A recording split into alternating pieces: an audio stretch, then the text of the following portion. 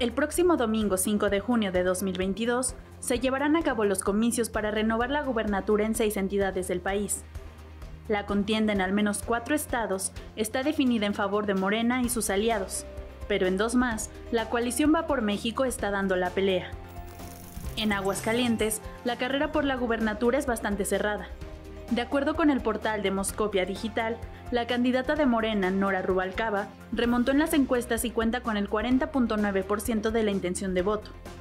Muy cerca, con el 39.2%, está la banderada por la alianza confirmada por los partidos Revolucionario Institucional de la Revolución Democrática y Acción Nacional, Teresa Jiménez. Para la gubernatura de Durango, las tendencias también favorecen ligeramente a la candidata de la coalición Juntos Haremos Historia, Marina Vitela tiene el 40.8% de las preferencias.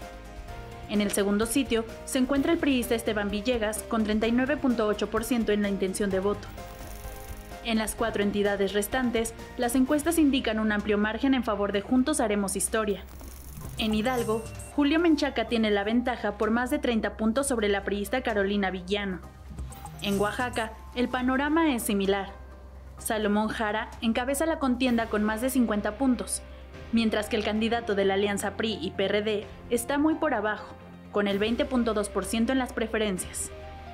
En Quintana Roo, Mara Lezama es el puntero en las encuestas con más del 40% en la intención del voto, mientras que la perredista Laura Fernández se ubica en el segundo lugar con poco menos del 20%.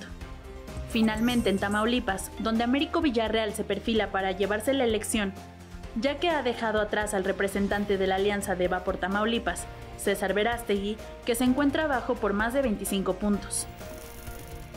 De darse los resultados tal y como lo reflejan las encuestas de Demoscopia Digital, Morena podría llevarse la victoria en los seis estados, por lo que podría gobernar hasta 22 entidades. Con información de Miguel Hernández Villanueva, Canal 14.